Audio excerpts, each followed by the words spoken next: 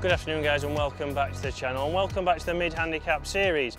One minor detail today, we haven't got Dave with us. Unfortunately, he's back in sunny Wakefield. So, whilst Dave is not here, we're going to talk about the five biggest things that I see most amateurs do, which is why they're still a mid handicap, why they're still off single figures, and why the handicap maybe isn't improving. So, let's go straight into it. So, number one, Number one is not having a practice swing that is meaningful to the shot that you're going to play in hand. So here we've got a shot. I'm going to go to the back flag here. It's around about 70 yards. And people don't have a practice swing and are not visualizing where they're landing it. If I tell you you've got 70 yards, you go and get your 70 yard club. But if we hit the ball 70 yards, it's going to land at the flag and then it's going to run past 10, 20 feet. If we do that, that's going to give us a long putt. Now the buggy's gone. If we do that, that's going to give us a longer putt. So that's going to give us a 20 feet, 40 feet, a long putt. That then encourages a three putt. So here, I'm going to do a practice swing, visualising to land the ball probably at 60 yards, and then it's going to run out. Because I know there's not going to be much spin. I know it's going to run out there, and that's hopefully going to get me as close as possible. But again, if we're talking tour averages, Anything inside 20 feet, inside 15 feet if you're a single figure handicap is a good golf shot. So don't think you have to be inside five feet. Don't think you have to be within three feet. That's great if that happens, but don't be too hard on yourself. If you hit it to those distances, be happy with that. So what I would do is I've assessed I've got a good lie, so that's the first thing I've done. And here's my practice swing. Thinking about hitting it 60 yards.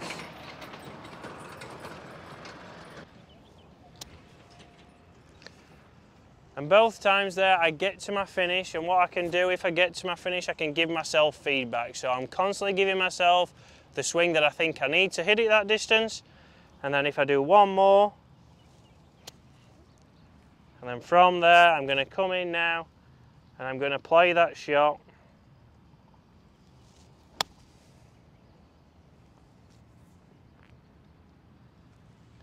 Good. So landed short, landed at 60, probably ran up to around about 8 to 10 feet, which is inside tour average, so I'd be more than happy. But the reason I've been able to execute that shot is because I've done the correct practice swings before, I've thought about where I need to visualise that shot landing. It might be a 70 yard shot, but I know I need to land it at 60 and let it run out. So guys, that's tip number one. When you're on the golf course, have a meaningful practice swing to where you need to hit that golf shot. So if you're going into the green, think about where you need to land it and then have a practice swing that's going to get your ball to there if you put a good swing on it. So let's have a look at number two. So number two is what I see a lot of times when people go down to the short game area. They've got three balls out of the bag, they'll come down there and they'll just start to chip, okay? But they've got three different golf balls. So here I've got a Callaway, I've got a Titleist and I've got a Srixon. They're gonna hit the same chip, so we're going to hit the same chip to that first flag. So the first one I'm going to get a reasonable shot. Good. Comes off nice and high. I can see how that reacts. That's the Callaway. Now I'm on to the Titleist.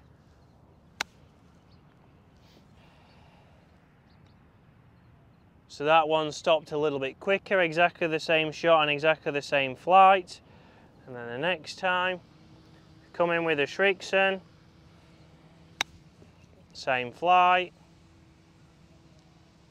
And that one's ran on eight feet. And they come away, they've not really gained anything, they've chipped it all right, but they've got three different results, and that's because of the golf ball. So when you're practicing, whether you're on the putting green, chipping green, or out on the golf course, ideally, I know we lose a few, I certainly do, and I know James Robinson loses more than his fair share, use the same golf ball. So whatever golf ball is in your price budget, you know, whether it's a it's a Pinnacle, whether it's a Srixon, whether it's a Titleist, whichever ball, whether it's the lowest one, whether it's a Pro V one, whichever. Use the same ball time and time again. You can then rely on that you're, as long as you strike the ball well, you're going to get the same reaction around the green. If you're hitting an iron shot, you're going to get the same distance over and over again. And if you're hitting drivers, again, you're going to get the same distance. If you switch and change golf balls, if you go from a Pinnacle, let's say, to a super soft golf ball.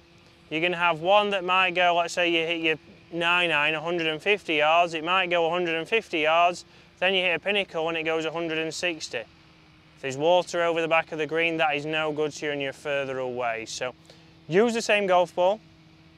Even when you're around the greens, especially when you're putting and chipping, that is massive because the feel on the green is all down to, again, what club and what golf ball you're using. We can't get the same kind of spin control if we're using different golf balls all the time. That's going to help you chip it closer. If we chip it closer, we've got more chance of making the putt, we've got more chance of lowering your handicap, and we've got more chance of living the dream. So, like Dave. So guys, that's number two. Let's look at number three. So number three is exactly what I've just done there. People will go down to the short game area if you've got a nicely cut area. So if you've got something that's nice and easy to get contact with, you normally go and practice there, hit 10 chips, get yourself on the first tee. So again, be honest with yourselves. How many times on the golf course are you chipping from the fairway? A lot of the times it's snuck into the semi-rough or it's gone into the rough and you're chipping from the rough. So when you go down, the harder you can make your practice, if you practice, the easier it becomes when you go onto the golf course. So if I was out on the golf course practicing dropping a couple of golf balls, I wouldn't be dropping them in the fairway where you've got a nice easy bump and run up to the flag. You'd be in the semi-rough, you'd be in the rough, playing difficult shots and learning how to work, which club works for that, which shot you're going to select, because then when you've got that shot in a round or in a tournament, it becomes a lot easier to play.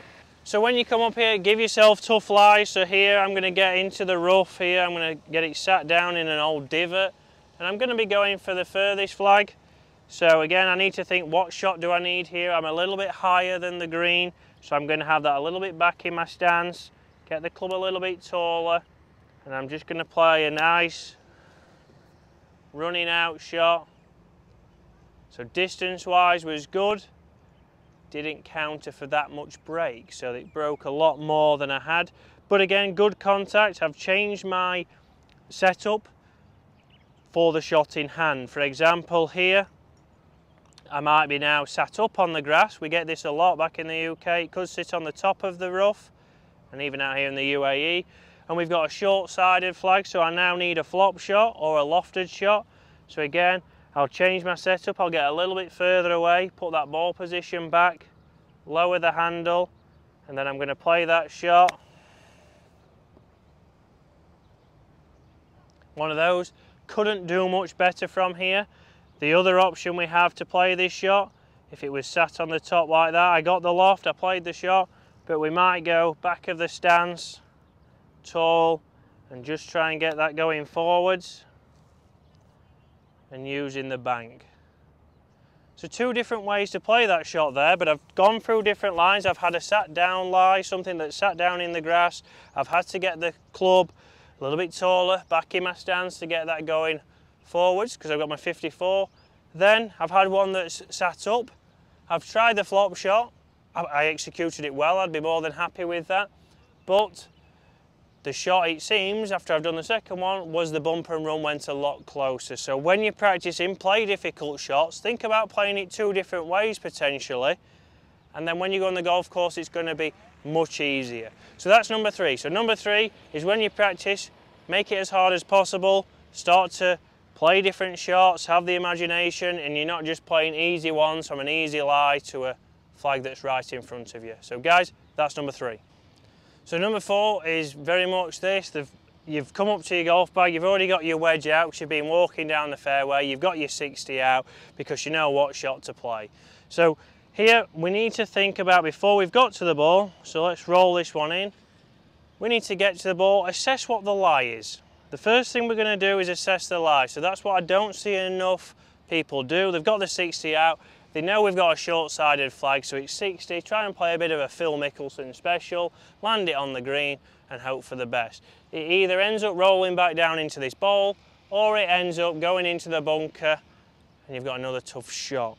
So we've got to then, we've assessed the lie, we then need to choose our club. So assessing the lie first, I can see that this lie isn't, isn't perfect.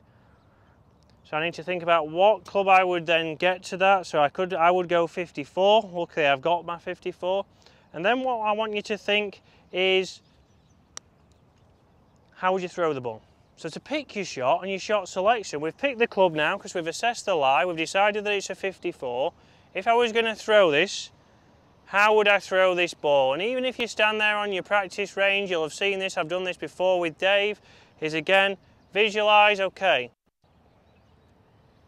that's going to be my percentage play. So I can get that ball rolling, getting it going towards that did run on a little bit, but again, we're going to be coming in with a little bit more loft with the club. Or my other option is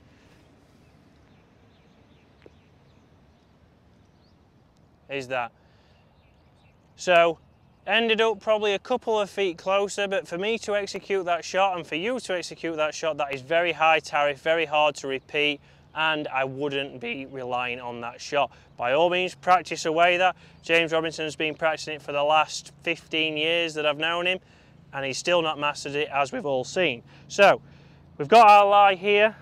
I know now I'm gonna go a little bit back in the stance. I'm gonna aim left for the slope. Hands go a little bit higher, and then from here,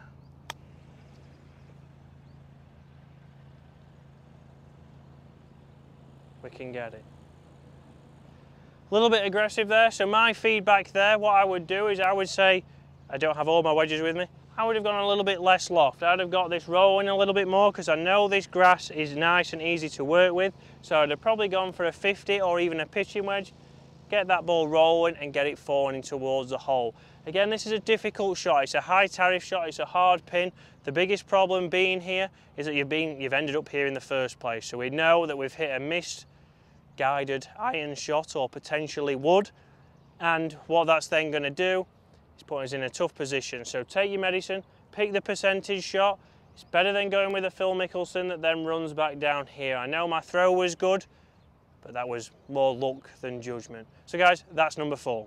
Okay, so the fifth and final tip, and something that I don't see enough amateurs do when they're in the bunkers, is stand square to the target and open their left foot. So oh, by opening your left foot, it allows you to rotate harder through the shot and be more committed to the shot that we're trying to play. What I see a lot of the times is people come in, open up with square feet, and then it's very much a dig in. They don't know where that ball's going to go. Sometimes they'll, well, hopefully you don't miss it. That was a very good effort there. And they'll either thin it, they catch it too much, sand, it doesn't get out, and then they're having problems again in here. So guys, if we can come in, widen that stance just a little bit, not too far, turn this left foot out, and then what we want to do is, yes, we want to take some sand, but I want you to get the feel that you're just slapping the sand. So it's going to take a very small divot, maybe eight inches, not what I see from a lot of amateurs when it's around about three foot of divot. So open the foot, stand square, and then from here we've opened that club face nice and wide and then we're going to feel like we're slapping the sand. And you'll see even with a 54 that comes up very high with a lot of loft on there because I've opened the club face so we don't need to go, this is a deep bunker you're probably around about 10 foot higher than me at the moment. We don't need to go straight to 60. So that means more speed, more tariff. So again, foot turned out here. I'm not going to make as big a swing now this time. Again, plenty of loft, plenty of speed, and I'm able to get to my finish position. But you'll see consistently, my divots are now square to my target. The ball's starting on target because what I've done Again, people think as you open the club face, it will point right. But I'm a little bit further away in the bunker, so the loft now points directly up, and we'll do a video on that just for bunkers. So here again, not too wide with the stance, the foot is turned out, and then we're going to slap that sand.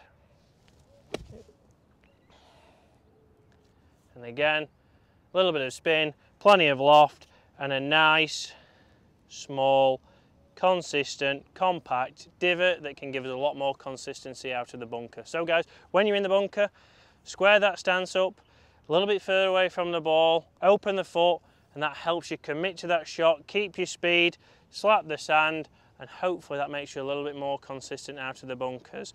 So mainly changes at setup there and committing to your shot, but we will do a full video on this topic and show you how the loft points up and it doesn't point right. Because I know a lot of the times when people have the club face wide open like that, they think the ball will be coming straight at the camera. But just by adjusting our setup, we can get that starting online and getting it closer. Guys, thanks for watching. That's been a mid-handicap series video, but without the one and only Dave. So hopefully we'll have Dave on again in the next coming weeks when I get back from the UAE and coaching.